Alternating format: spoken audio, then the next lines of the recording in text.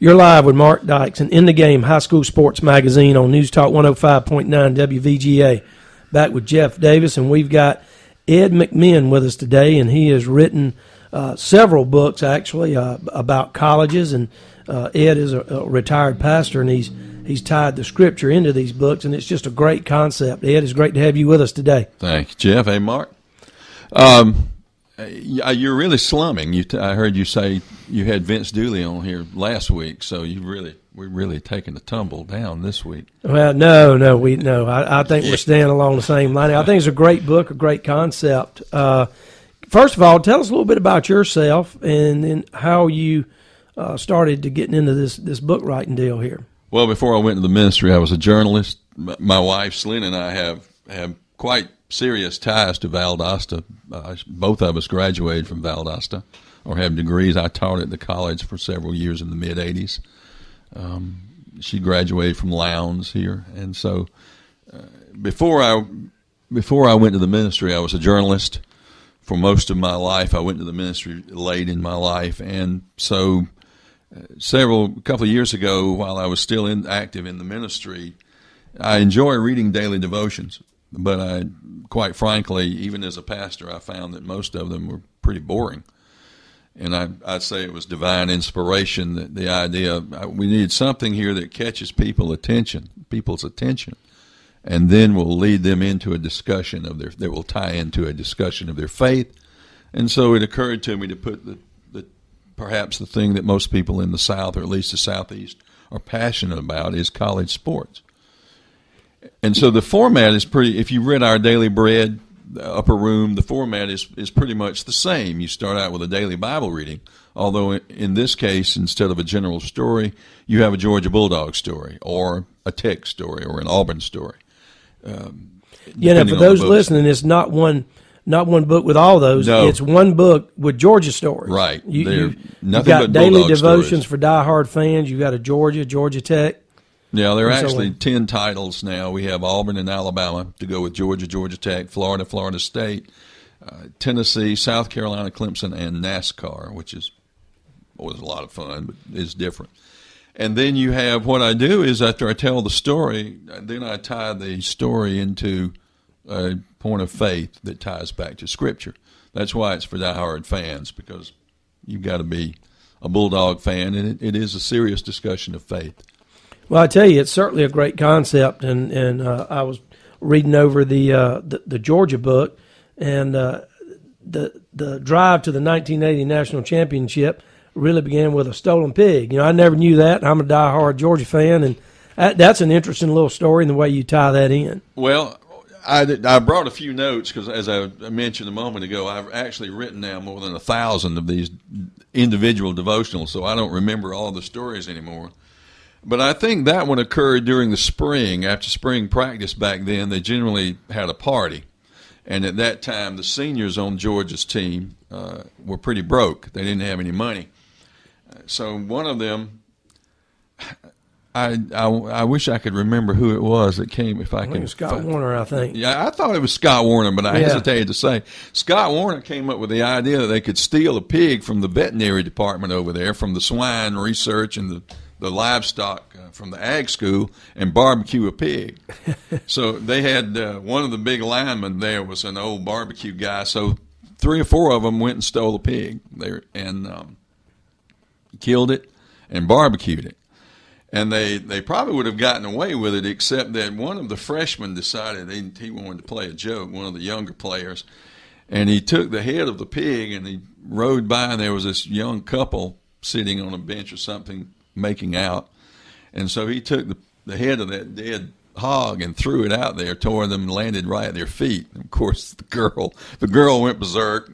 The guy, unfortunately, had the presence of mind to get a tag number, so the pig was up then. And they actually, uh, Coach Dooley was pretty mad about it, as was Coach Russell, and so he he put the seniors uh, he made them stay at school all summer and paint fences out in the middle of the day in you know 100 degree Georgia heat all summer. And uh, when they finished painting the fence, he'd go back and make them paint over again. In other words, he had them out there the whole time. And what happened was that all of the, the younger players, they had to work, they had to pay back for the, the value of the pig. And the younger players, all the players on the team who weren't involved, nevertheless came forward and volunteered to help pay for the pig. And they all, some of them came and helped paint the fences. And what uh, happened was that it created an unprecedented sense of team unity. And Erk Russell was on record as quoting at one time that he was more than glad that that happened because he thought it really affected the attitude going into the 1980 season. Right. That's an interesting story. Very interesting story. Uh, now, was Georgia the first book that you wrote? No, actually, the first two. Uh, this is how the world works today. When I had the idea, I actually sat down and wrote the Auburn book first. Oh my goodness! Now, well, the reason was simple: was Auburn was the closest school, so the research would, was easier to do, uh, to, to drive to Auburn. And so, in this this day and age of the internet, after I wrote the book, I, I got on the internet and got some contacted some agents who would do Christ, who were interested in handling Christian authors, who would also unpublished authors. Um, and I emailed him with the concept I had. I emailed several of them. One of them wrote me back and said, "I'm interested. I'm going to a booksellers convention. I'll pitch it." He pitched it, and Simon and Schuster, well, it was Howard Books then, liked the idea, so they they signed me up, and they wanted to do Tennessee and Alabama. So those were actually the first two that I did. Uh, I tried to convince them, and I saw it again this uh, in an article in the paper last week that Georgia now is the second best-selling collegiate merchandise school in the country after the University of Texas. Um, and I tried to convince them that Georgia was the best-selling school in the SEC, but they had Tennessee and, and Alabama in their mind. So, well, now have uh, have you always been a sports fan? Always, uh, growing up, always, never a moment that I wasn't. Um, and I have found after I went into the ministry, of course, I still didn't I still maintained an interest in sports. In fact, it was a rule, it was an understood policy in my church that if you you or your family was going to have a personal crisis or a great problem that you could not have it on Saturday afternoon in the fall. you either had to have the crisis on Friday or Sunday, Sunday afternoon. But I've always been a been a sports fan, and uh, we I I really believe that what the value of sports is in these books is that I just sports is just serves as the perfect avenue to find metaphors for life. I don't think there's a life situation we can't encounter that sport can't reveal something about it and also about our faith and that's what I've done I think that's different was tie sports into faith. Well, it's certainly a great way to introduce people to the word. Uh, you know, as you mentioned, somebody picked this book up, maybe not not know what it was about. Of course, when you start reading it, you know you don't want to put it down. You yeah. know these stories are interesting, and of course, sports lovers, I, I can see them certainly wanting wanting to get this book. Well, what I find that most men do, although it's women who usually buy the books, they buy them for their sons or their husbands. Most men will sit down and read it all the way through, and then maybe go back and use it as a devotion where you have a reading every day. What uh, in in doing these books, and you've done ten of them. Uh, What's a couple of the more interesting stories that you've uncovered? Um, I have a few favorites. One of them involved, you know, how many? I'm sure you remember the was it 1982? I think the Stanford Cal game. That's always been called the strangest game in the history of college football. Where ESPN, fans were on the field the band, and the band, yeah, yep, the band ran uh, ran on the field and and Cal won the game as the running back ran into the band on the last play and scored a touchdown and won if you look at that clip, if you ever see that clip again, look back and see if that running back doesn't just really run right into a tuba player and just lay him out yeah. his way in the end zone. But I don't think that was the strangest game in the history. I think Tech and Georgia played the strangest game in the history of college football. Back in 1904, they met in Atlanta's Piedmont Park. That was, of course, during the early days of football. And it was Piedmont Park was a baseball field. So all around the baseball field was a 16 foot high fence. And it was raining that day, so that you need to get that picture. It was a miserable, wet, rainy day. There was a 16 foot high fence all around the field. And uh, during the course of the game, Tech drove deep into Georgia territory, and Georgia held them. A great goal line stand. And as was the approach and the policy back then, Georgia, when you were in trouble, you punted. So Georgia immediately lined up on first down to punt. Well, now in those days, there technically wasn't an end zone. So the goalposts were on the goal line. So what the Georgia punter did, a guy named Arthur Sullivan, he backed up as far as he could right against that fence to punt the ball. And when they snapped the ball and he punted it, to to his surprise, his kick hit the goalpost and then caromed backwards over his head, and he stood there and watched his punt sail past him and sail over that 16 foot fence. Well, everybody kind of stood around and looked at each other for a minute or two, including the refs. They didn't know what to make of it. They got together and, and talked it over. And they decided that since there wasn't an end zone, that ball was still in play. Oh, my goodness. So what you had then, anybody ever play King of the Mountain? What you had then was kill the man with the ball. Yep, yep. was 22 players, 11 from each side, trying to get up over that 16 foot fence. It was wet, it was slippery, it was muddy, and of course, what they would do is they would build a pyramid to put a player on top of it, and then a player from the opposing team would come over, run into it, knock it down. Everybody would fall down. Or when a player got close to the top of the fence, a Tech player, for instance, the Georgia player would grab him by the ankles and yank him down. Well, then finally, Arthur Sullivan, the punter, and a Tech player named Red Wilson made it up to the top of the fence and then jumped, then disappeared over the fence. Everybody sitting there waiting to see what was going to happen. Well, now they were out in an open field and the grass was several feet high, so they couldn't find the football. So they spent several minutes all on their hands and knees trying to find the football, and finally Red Wilson fell on it, saw it, fell on it, and the ref who was over there with him signaled touchdown. Hmm.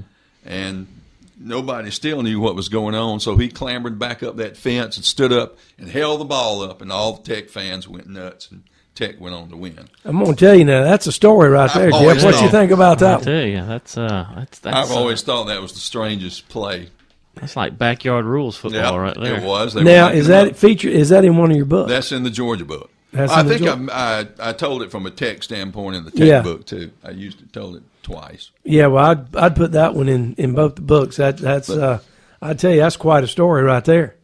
The um, there's uh, another. I was going to say one of the interesting. Anybody remember Pepper Rogers? Oh yeah. Mm-hmm. Remember, Pe- Pepper was kind of a flamboyant coach at Tech for several years in the '70s, and Pepper really embraced the '70s lifestyle. If you, I think you probably remember his hair most of all. He rode a motorcycle. He didn't wear socks, and he permed his hair. And everybody was okay with him except for that perm. They didn't mind him riding the motorcycle. Uh, but his Pepper's biggest game in, was in 1976 when Tech upset Notre Dame, beat Notre Dame 23 to 14.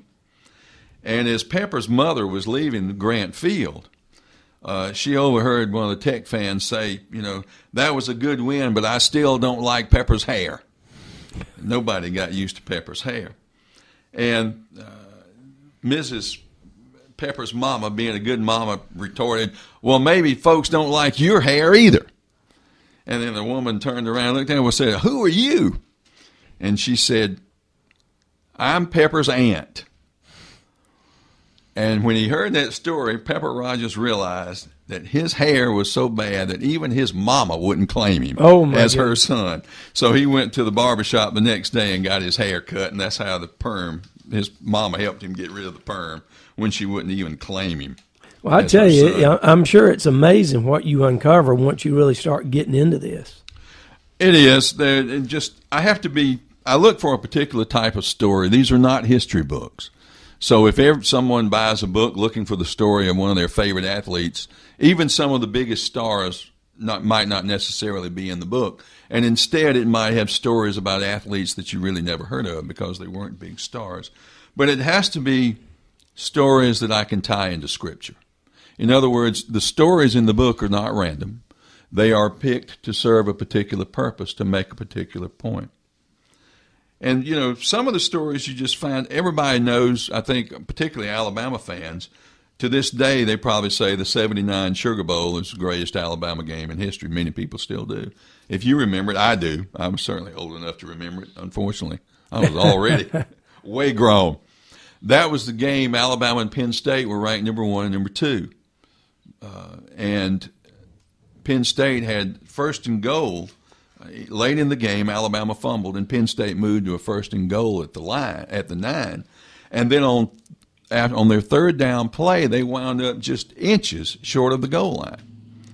And so, what's interesting about this story is that they were the players were unpiling, and uh, Penn State had a quarterback named Chuck Fusina, uh, whom, whom you might have heard of, and he was uh, standing there watching. You know, the refs put the ball down, and Alabama's tackle, guy named Marty Lyons, who was quite a good ball player, was standing there next to him. They were just both standing there looking at the ball, looking how far it was from the goal line. And Fusina looked over at at, uh, at Marty, the Alabama player, and he says, "What do you think?" Well, Lyons thought a minute, and then he said, "You better throw the ball." and um, they went back to their huddles, and Penn State didn't take his advice.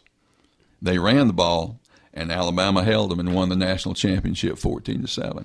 How about I always that? thought it was kind of interesting that there they were standing there talking about what play they ought to run. They sh- Penn State should have listened to Marty Lyons, I guess. I tell you what, that that is very interesting. We're uh, we're going to take a short break, and we'll be right back with more with Ed McMinn. You're live with Mark Dykes and in the game high school sports magazine on News Talk 105.9 WVGA. You're live with Mark Dykes and in the game high school sports magazine on News Talk 105.9 WVGA. And Jeff and I are visiting with Ed McMinn today, who's written several books, and uh, they all have the same title: Daily Devotions for Diehard Fans. Just just different schools. And before we get back to some stories and discussion, uh, Ed, first, can you tell people listening if they would like to, to get one of these books, how they'd go about doing that? Well, they're they're available in Valdosta at a couple of sites, Mockingbird and the Potter's House, and but they're also available online. Our website is www.diehardfans.com with a hyphen, and we right now we've arranged for a coupon on the website so that you will type in in the game, all one word, then you can get a, a discount on the book price. Well, great. And and what what is the, the regular price, the normal price? Um, we sell them at fourteen ninety five, and uh, if there is a volume discount, uh, and of course, what the various bookstores and Christian bookstores that sell them, we recommend the price, but they, it's usually fourteen ninety five. Right now, also we want to point out too, and and while in the South we love our football, and probably the majority, like of this Georgia book, is football. There are some other sports included. I try to make it uh, all the sports. If you're going to write a Georgia sports book, you got to have gymnastics in there. Uh, and so there are several gymnastics stories. The Tennessee book has certainly got women's basketball and Pat Summitt. Even the Gator book, which was, you know, hard for me to write, but the Gator book has uh, you've got the national championships in basketball. They have to be in there. Sure. And I just finished writing. It's not published yet. It'll be out. It'll be a while. The University of North Carolina book, which is predominantly basketball, because their basketball program has been much more successful Yeah. than their football program. Now, uh, what's a what's a, a favorite story that comes to mind that's not football? I one of them involved a the Alabama basketball team. You don't think much of Alabama. That's what I say. I look for stories that have a certain uh, a twist to them. They were Alabama play went over and played Mississippi State right after World War II, and the Mississippi State, as a lot of facilities were at that time, Georgia's gym was so bad that they actually had basketball games rained out. But the Mississippi State had old Quonset huts. That's what they used for their gymnasium, left over from World War II. And Alabama went over there and played them in the late 40s, and the place was really so primitive that there wasn't any place for the Alabama coach to meet with his players at halftime. So uh, he took them outside and uh, they were outside in the dark, but he was going to, you know, they were all going to meet. But unfortunately, one of the things that they didn't know, his name was Jim Homer, And one of the things that Jim Homer and the players weren't aware of is that there was an open open sewage line out there, and three of his starters promptly walked out the back door, walked out the door there into the dark, and fell into an open sewer.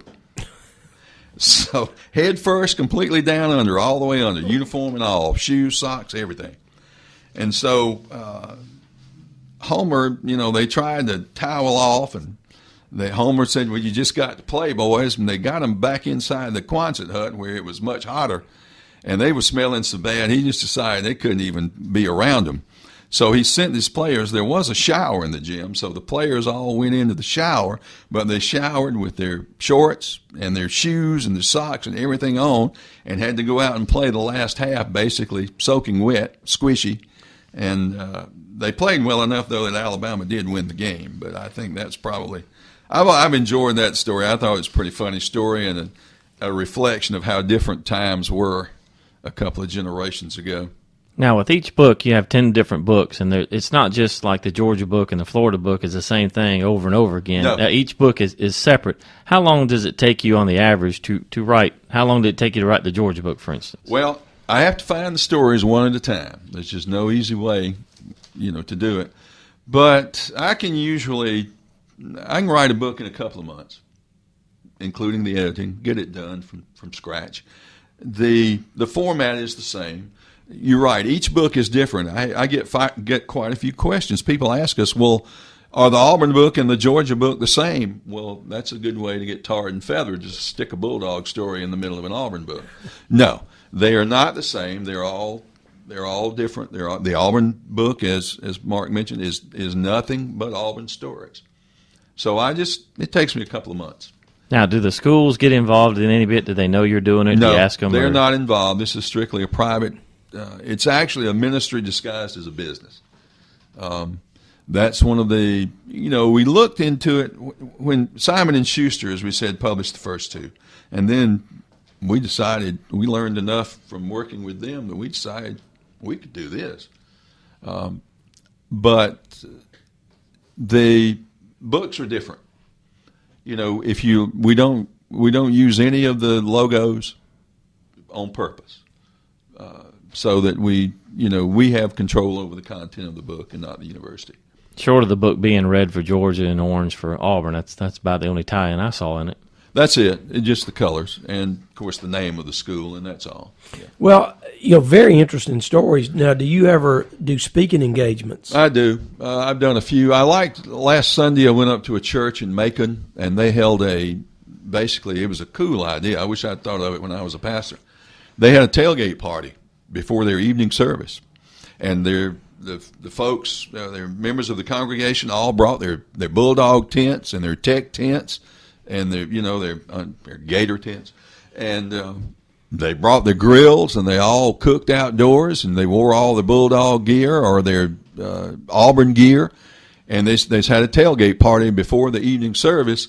And then when they went into worship, I was I delivered the sermon. I was a preacher. I, I was the guest preacher, and what I do do is pretty much what I have here.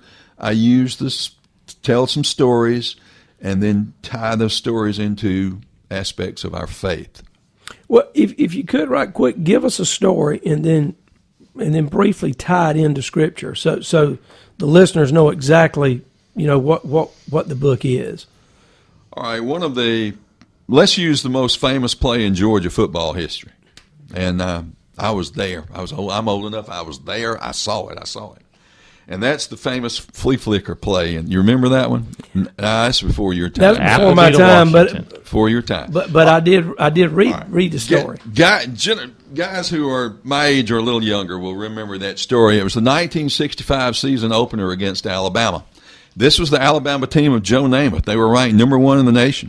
It was Vince Dooley's second year uh, in Athens and uh, Georgia took actually took an early lead, ten to nothing, and that and but Alabama rallied and took a seventeen to ten lead, uh, going late in the game. You know, there were only a couple of minutes, about two minutes left to play.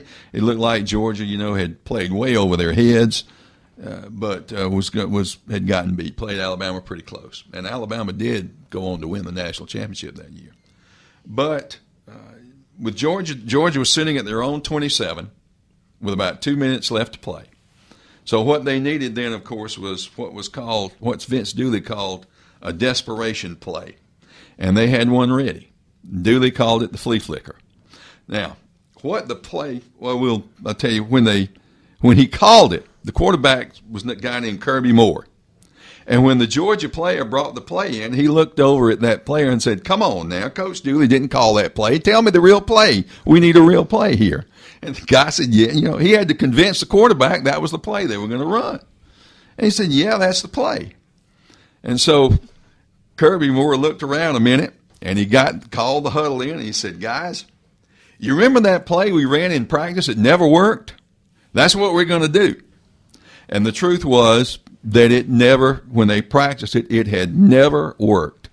Um, the fullback was a guy uh, named Bob Taylor, and he said he could, he thought Kirby Moore was joking because he said it was like something from a playground. And what it was, it's a simple play. Now you've seen it several times, I guess, since then, where the quarterback hit a receiver and the receiver lateraled back to a trailing trailing back. I mean, it was a simple play, Right. but this is 1965. Trick plays. This was before Bobby Bowden's Yeah, time. this was two yards in the cloud of Yeah, dust. yeah. I mean, you know, Georgia didn't throw only threw a few passes every game, and so they call that play. And the thing was that Moore, the end's name was Pat Hodgson. Moore hit Hodgson with a strike, and Hodgson lateral back to Bob Taylor, and he went 73 yards for a touchdown. And of course, Alabama, you can ask any Alabama fan. They brought it up last Sunday, didn't we? Brought this up at the church, mentioned this play, and the Alabama fan immediately said his knee was on the ground. They still remember. They still believe Pat Hodgson's knee was on the ground when he caught the ball. Well, then Georgia went for the two point conversion and won the ball game, beat number one ranked Alabama 18 to 17. But the point we were trying to, that was, that's the play in this devotional. It's about trick plays. And the point I make is that in our life, there are a lot of people all around us who have who are trying to pull some trick plays over on us. We've all gotten emails telling us to send money somewhere to get rich. Uh, we have people knocking on our front door. They'll, they'll pave our driveway for a ridiculous price. We've all seen these ads on TV that tell us we can lose weight without having to diet or or exercise. So the point is that we have to look through things. We think things through and look them over before we decide. And the same thing is true with our spiritual matters too, because there is a lot there is a lot of false religions uh, and bogus Christian denominations around. And so the key to deciding whether this is really something or is a trick is what this group does with Jesus Christ. If they don't treat Jesus as the Son of God, the ruler of the universe, and the only way to salvation, then they're bogus. It's trick play. And so the good news is that Jesus sounds too good to be true. Jesus sounds like a trick play, but there's no catch. It's the real thing. Yeah, we all have a hard time understanding that because in, in this life, it's always strings attached, isn't there? There are, but with Jesus, there it's not a trick play. Like Yeah. no flea flicker. Well, that's great. I tell you, it seems like this book really would appeal to all ages. Well, what's been interesting that I really didn't realize is that how many uh, youth pastors, for instance, have been buying them, the books uh, in making uh, group purchases to give to their kids, particularly their boys. They worked real well with teenage boys who, I guess, you know, I would think you'd have a difficult time getting to read the Bible, but this seems to work real well. It, it kind of hooks them. And like I said, you're reading about the Bulldogs or South Carolina, the Gamecocks, or even the Gators, and all of a sudden Jesus shows up. And that so they have done real well. They're doing real well. Youth, a lot of youth pastors have used them. How about in schools? Are you uh, do you have them in any schools or No. you have any coaches or Um, well, yes, we do. Some coaches have. We've used them with some coaches, particularly you know, Christian coaches who want to give their boys something to read and also that will help guide them a little bit. So yes, we have. We have had some coaches use them. Well, I tell you, it, it's certainly a very interesting book. We're going to take a short break right now, and we'll be back with more with Ed. You're live with Mark Dykes and In the Game High School Sports Magazine on News Talk 105.9 WVGA. You're live with Mark Dykes and In the Game High School Sports Magazine on News Talk 105.9 WVGA. And we were just going to the break, and uh, Ed's wife, Slyn, was uh, chatting with us and wanted to make sure that we let everybody know that this book is just not for guys. And so we've got her to join us here and, and, and tell us from a from a woman's standpoint of view about the book. Well, I've always been a sports fan. I'm especially baseball sports fan. I was a scorekeeper here for VSU for a few years under Coach Thomas, and so I'm a big fan of sports as well. And when Ed started writing them, of course, I was involved with the ministry as a supportive in a supportive role. But then when Simon and Schuster published the first two, and we realized that God was leading us in our lives in this direction to take over, we actually established a publishing company, which I own, and we started publishing them themselves. And then I became directly involved, and it required me being um, every day in with the sports and the mm-hmm. book and the reading. So I did a lot of editing of the books, and as I began to read them, I realized that my passions in sports were as strong as Ed's or any other man's. And I think sometimes as women, we kind of downplay our role in sports or what, but we're huge supporters from the mom that does goes to all the soccer games to, I mean, the wife that sits in the room and watches TV. Ed and I can't sit in the same room and watch Georgia anymore, but we uh, we each have our own it has TV. To be a personal affair. well, I can, you know, I'm sure that. Uh, and you're right. You know, we in dealing with all the young athletes that, that we run across, it's certainly the moms who are responsible for getting those uh, sports career started early. And I can also see uh, you know, this book would make a great birthday gift or Christmas gift. Well, I it see, does. You know, the woman's doing most of the shopping. This would be a wonderful gift for anyone out there listening that wants to get someone. There are uh, a lot of women's sports in the books as well as men's sports, so there's a lot of um, there's a lot of draw for women to read the book as well as men. Both are men's sports and women's sports. In addition, there's a lot of uh, gift opportunities for this, and we do tend to buy more than men buy. So we when we find something that's both interesting and fascinating with sports, but also ties into Christ and what He's done for us. And we feel like we can put that in the hands of somebody we know and love and maybe bring their faith walk closer. We certainly go look for products like that. And this product actually meets that on, on all levels. Yeah, I mean, a great, great, great gift. Now, now Ed, I know. Uh, You've got a story you want to get in here. Well, one I thought your we favorite close. one. yeah, I'll, let's. I'll Let, tell it very quickly. Uh, it's probably I've written over a thousand devotions now, and this remains my favorite. It's for the Auburn fans out there. And this one is a little different from some of the others. I, I always I try to pick stories that are funny, humorous, unexpected, but also stories that touch us, that touch our hearts. This one always touches me. And the scripture that I use is from Matthew, where the women are standing there watching Jesus hanging on the cross. It's the worst day in the history of the world. And uh, the sports part of it ties in with the goes back to the 1998 Auburn season, which Auburn fans will certainly remember. It was the year that that uh, Coach Bowden, Terry Bowden, resigned in the middle of the season. They didn't even have a coach; they had an interim head coach. It was supposed to be a good season. They were two and five when Arkansas came to Auburn to play. Arkansas was seven and zero, ranked in the top ten. And Auburn's quarterback, you might remember him as a guy named Gabe Gross, who actually went on to play Major League Baseball. He debuted with the Yankees in 2004. But he was the quarterback. And this is, we talk about loss and losing, you know, tying in with the Jesus crucifixion. And Gabe Gross's last pass went incomplete. He came over to the sidelines, you know, he'd given all that he had, and Arkansas was going to win 24 to 21. There was nothing they could do about it. So he was on the sidelines. Of course, he dropped, took his helmet off, dropped down to one knee, hung his head. And as he was there, feeling pretty miserable and awful, he heard something, and at first he couldn't figure out what it was. Now, I don't know if you've never been to Jordan Hare Stadium. It's a lot like Sanford Stadium in Athens. It's almost the same size. It's it's big. It's huge. And as Gabe Gross was on the sidelines, um, he couldn't make out what it was, but he noticed that it was it started moving around the stadium.